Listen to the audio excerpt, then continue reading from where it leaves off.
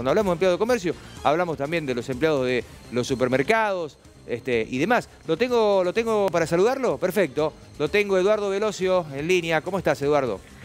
¿Qué tal, Héctor? Muy bien. Un gusto compartir contigo. Bueno, queríamos saber también este, lo que pasa con ustedes a esta altura del año, la situación inflacionaria. Hace un momento conversaba con todo y bueno, ellos tienen su visión, obviamente, como dueños de comercio. ¿Cuál es tu, mirada en esta realidad de balance? Bueno, el balance es que eh, la actividad eh, a partir de los de, de la amplitud que ha puesto el COE que de a poco va haciendo aperturas, también va marcando la recuperación del comercio. Hoy vemos en el centro, digamos, lo que sería los dentro de los cuatro bulevares, eh, este, el, movimiento es eh, normal, absolutamente normal. Más allá de que a lo mejor no está trabajando a pleno la justicia o algún otro este organismo en, el, en el ámbito del comercio eh, está trabajando a pleno. Por lo tanto, también sabemos que junto con la gastronomía es de rápida recuperación. Nosotros notamos un, un tema que no tiene que ver con la pandemia, porque esto ocurre siempre, que es eh, que hay un muy alto porcentaje de empleo no registrado. Ah.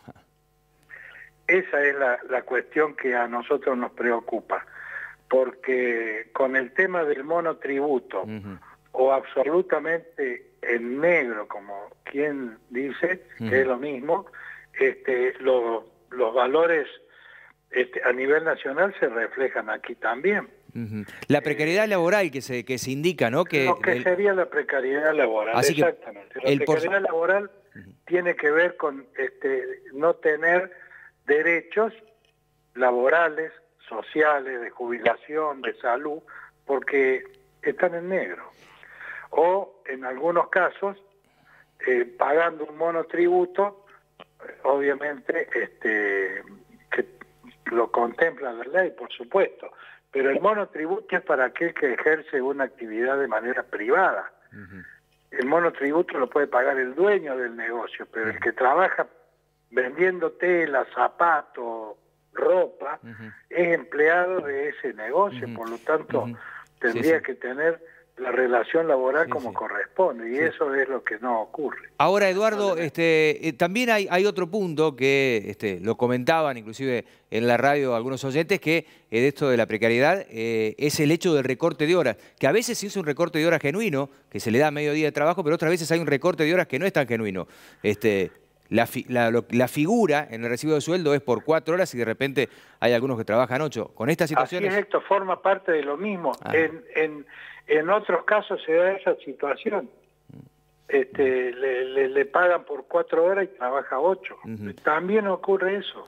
También ocurre eso. Ahora, Eduardo, ustedes eso se nota porque eh, ocurre que hay, hay este, dos situaciones que tenemos que, que digamos que sostener, que es el tema de la salud y el tema de la, previsión social, lo que es la jubilación. Y si vos le estás mintiendo, le estás retaseando aportes, porque la gente está en negro, o porque pagás la mitad de lo que corresponde, le estás quitando aportes genuinos a la seguridad social, que eso es lo que se llama. La, última, Eduardo. Parte de la salud y la previsión social. Claro que sí. Eduardo, la última porque se nos corre el tiempo. Este, ¿Ustedes tienen hecho más o menos un balance de la, de la realidad del sector, de sus representados, de la cantidad de gente que directamente pasó a situación de despido? No, despidos no se pueden hacer a partir de, de, marzo del año pasado están suspendidos.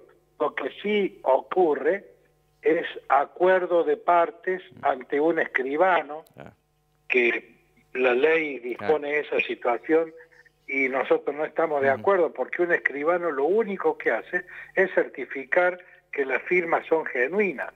Tiene que ser el Ministerio de Trabajo, con la presencia de los sindicatos de cada lugar, quien determine esa situación, porque estos acuerdos de partes son este, eh, también eh, en situación precaria. encuadrado en el retiro voluntario.